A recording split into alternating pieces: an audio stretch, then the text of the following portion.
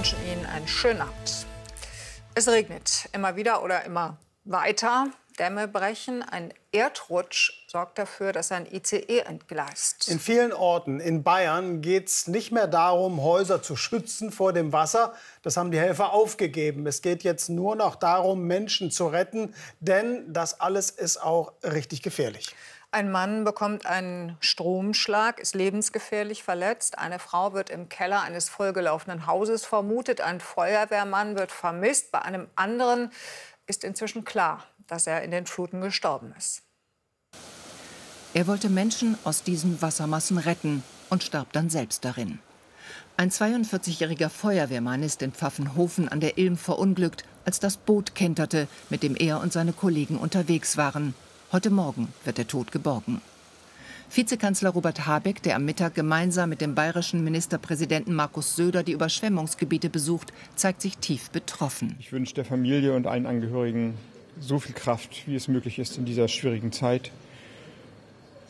Viele Menschen sind mit dem Leben davongekommen, aber haben wahrscheinlich erst einmal Haus und Eigentum jedenfalls beschädigt, möglicherweise verloren. Die Lage in Oberbayern spitzt sich heute im Lauf des Tages immer weiter zu. Bei Reichertshofen bricht ein Damm.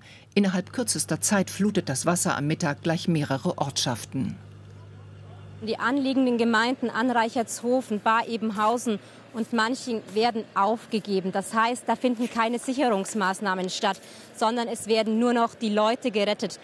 Mit Lkw werden Anwohner in Sicherheit gebracht. Allein in Bayern mussten inzwischen 3000 Menschen ihre Häuser verlassen. Das Wasser stieg gefährlich schnell. Garage, Keller, alles voll. Ich bin in der letzten Sekunde aus, der, aus dem Keller raus, sonst wäre ich nicht mehr rauskommen. Dramatische Szenen auch in Günzburg. Auch hier wurden Menschen von den Fluten in ihren Häusern eingeschlossen. Einige mussten sogar mit dem Hubschrauber gerettet werden. Riesenschreck auch für die Passagiere dieses ICE, der gestern Abend in Schwäbisch Gmünd in Baden-Württemberg entgleiste. Ein Hang war abgerutscht, Bäume auf den Schienen gelandet, zwei Waggons sprangen aus den Gleisen. Verletzt wurde zum Glück niemand. Ziemlicher Schock auf jeden Fall. Also es waren auf einmal, ja, man war auf jeden Fall besorgt, ob irgendwie was passiert ist. Ist ja Gott sei Dank nicht, soweit ich weiß. Ähm, und wurde dann auch ziemlich gut gehandelt und alle sind ziemlich ruhig geblieben. Aber war schon erstmal ein ganz schöner Schock, vor allem als es dann hieß, der Hang rutscht weiter und man schon ein bisschen Angst hatte. Die Bergung des Zugs gestaltet sich heute schwierig. Die Strecke blieb erstmal gesperrt, wie auch viele andere Bahnstrecken. Und ein Ende der Katastrophenlage ist nicht in Sicht. Während sich im Westen, wie hier im Unterallgäu, das Wasser langsam zurückzieht, bleibt die Lage weiter östlich in Bayern kritisch. Also die Einsatzkräfte, nicht zuletzt natürlich auch das Rote Kreuz, ist seit mehr als 24 Stunden im Dauereinsatz und kommt auch an Kapazitätsgrenzen. Und ähm, es ist halt eine Lage, die es so halt bisher noch nicht gab. Und sie müssen weiter durchhalten. In vielen Orten wird der Scheitel des Hochwassers noch erwartet. Tja, das Ganze eine Lage, in der Regen dann plötzlich Angst macht. Wenn wir mal auf die offizielle Hochwasserkarte gucken hinter uns, dann sehen wir, fast der komplette Südosten Deutschlands ist da betroffen. Überall Hochwasser, das ist orange. Großes Hochwasser in den roten Bereichen, also dieser Streifen quasi. Und lila, unten heißt sehr großes Hochwasser. Das gibt es vor allem im Allgäu. Wobei die Lage teilweise wirklich von Ort zu Ort noch mal ganz unterschiedlich ist. Wir gucken jetzt in den roten Bereich. Ein Dorf in der Nähe von Augsburg. Da gab es am Nachmittag wenigstens mal eine Regenpause. Rettung per Boot im Flutgebiet. Die Gruppe der Deutschen Lebensrettungsgesellschaft nimmt uns mit zu einem Einsatz hier in Dinkelschaben bei Augsburg. Das Ziel ist am anderen Ende der überfluteten Straße. Wir müssen vor zur Eisdiele auf der rechten Seite, die Hausnummer 18. Das Wasser steht noch bis zu einem halben Meter auf der Straße. Aber das ist nicht das eigentliche Problem, sagt der Einsatzleiter. Die Herausforderung ist, dass wir hier halt Gewässer haben, das unbekannt ist für uns ist. Wir haben Gefahrenstellen wie Gullideckel, die fehlen, die für uns natürlich auch dann Probleme bereiten können. Und wir haben teilweise in den tieferen Bereichen noch sehr starke Strömungen.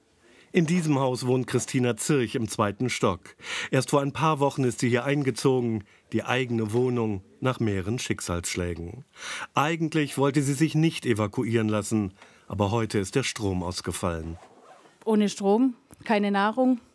Und ähm, das geht ja auch alles im Kühlschrank kaputt und kann nichts kochen. Und von daher ist es jetzt die beste Entscheidung zu sagen, jetzt gehe ich, damit ich ins Warme komme, geschützt bin, im geschützten Rahmen bin und wenigstens da dann irgendwie warme Nahrung bekommen kann.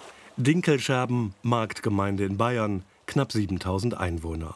Im Zentrum stehen fast alle Keller unter Wasser. Die Flut, sagt Anwohner Walter Ringler, sie sei gestern in 20 Minuten über den Ort hereingebrochen. Ich bin äh, schon lange hier am Ort. Das ist jetzt einmal haben wir Hochwasser gehabt, da war es vielleicht halb so äh, hoch das Wasser. Aber das, was da jetzt gestern und heute abläuft, habe ich in meinem Leben noch nie gesehen. Man müsse jetzt zusammenhalten und nach vorn schauen, sagt er. Am Rande des Flüsschens zusammen stehen Andreas Schüttler und seine Söhne Emil und Anton. Bisher sind sie verschont geblieben. Und doch. Normalerweise ist kann man hier bis auf den Grund runterschauen. Die zusammen, jetzt sind wir bei 2,60 Meter Höhe. Das ist unglaublich. Da drüben haben wir eigentlich einen Bach, der ist 40, 50 Zentimeter breit. Und jetzt geht er bis runter unter die Brücke. Das ist unglaublich, was hier gerade passiert, muss ich sagen. Unglaublich. Nicht weit entfernt treffen wir andere Helfer. Freiwillige des Technischen Hilfswerks füllen Sandsäcke, um Dämme zu stabilisieren und Häuser abzudichten, wie Stefanie Eulet. Das tut einem natürlich auch wahnsinnig leid, dass es diesmal uns getroffen hat. Aber genau, so tut man wenigstens was Gutes. Zurück zum Rettungseinsatz der DLRG. Christina Zirch hat das Nötigste zusammengepackt. Und auch Nachbarin Jennifer Hieber wird mit Gepäck und Katzenbox evakuiert. Die Zukunft für beide Frauen ungewiss. Mir wurde gesagt, wir wurden es zur Feuerwehr gebracht. Das ist so eine Zentrale. Und da versuche ich jemanden von meinem Bekanntenkreis zu erreichen ähm, ob ich irgendwo unterkommen kann. Ansonsten weiß ich, dass in Horgau noch so ein Notfallhotel ist, die uns auch aufnehmen könnten. Wie geht's Ihnen jetzt?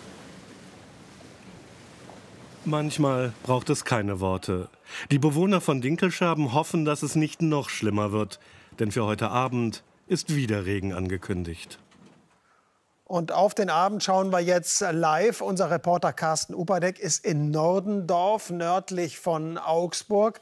Auf der Internetseite dieses Ortes heißt es, ich lese mal vor, aktuell läuft das Wasser nahezu aus allen Richtungen ungehindert ins Dorf. Das war Stand heute Mittag. Carsten, wie ist es jetzt? Ja, es regnet vor allen Dingen auch wieder und der Damm ist heute am Nachmittag, ich soll nicht sagen gebrochen, er ist überunterspült worden. Das heißt, er ist an mehreren Stellen gebrochen. Das heißt aber nichts anderes. Der Damm, der Schmutter, das ist ein Nebenfluss, der in die Donau fließt, der ist gebrochen und ist, fließt jetzt ins Dorf hinein und hat das Dorf bis zu 1,20 Meter überspült, die Sta Straßen stehen unter Wasser. Das heißt jetzt, dass sogar die Bundeswehr hier vor Ort ist. Die retten Menschen, weil selbst die Feuerwehr diese Menschen nicht mehr retten kann. Das kann nur die Bundeswehr mit sehr großem Gerät, heißt sehr großen Fahrzeugen. Es gab auch einen Hubschrauber, der auch Menschen gerettet hat, die nicht mehr rauskommen. Und die Wasserwacht, habe ich gehört, die ist durch die starke Strömung der Schmutter, die hier in das Dorf gelaufen ist, die hat aufgehört zu operieren, weil sie sagt, die Strömung ist so stark, dass auch wir das jetzt nicht mehr hinbekommen. Das heißt tatsächlich von den 2500 500 Einwohnern, die es hier gibt, ist ein Großteil evakuiert und nicht freiwillig evakuiert. Bisher hatten wir immer so den Fall, dass gesagt wurde, bitte geht, aber wenn ihr wollt, dann bleibt halt zur Not. Jetzt wurde tatsächlich zwangsevakuiert. Die Leute müssen gehen, weil so starke Gefahr besteht. Nicht nur, dass die Keller voll sind, sondern dass Häuser, auf Deutsch gesagt, sogar weggespült werden. Carsten, äh, wir sehen und hören, dass es da immer noch kräftig regnet. Was sagt denn die Wettervorhersage? Hört das irgendwann auch mal auf? Ja, es, es, soll weniger werden, man weiß es aber nicht so genau. Es regnet jetzt wieder, es war zwischendurch lange trocken, es wechselt sich so ein bisschen ab. Tatsächlich ist aber der Schwerpunkt, wie ihr schon gesagt habt, in den Norden gewandert. Das heißt, die Zuflüsse zur Donau und die Donau selbst sind jetzt der Schwerpunkt. Der Süden hier gerade äh, in, in, dieser Region hat bestenfalls das, das äh, Gröbste hinter. Ich habe gerade mit dem Nachbar gesprochen, der sagt, er hofft, dass er das Gröbste hinter sich hat. Der Keller ist zwar voll, aber er hofft, dass zumindest die anderen Etagen verschont bleiben. Carsten Upperdeck live aus Nordendorf bei Augsburg. Soweit unsere Berichterstattung über das Hochwasser in Süddeutschland.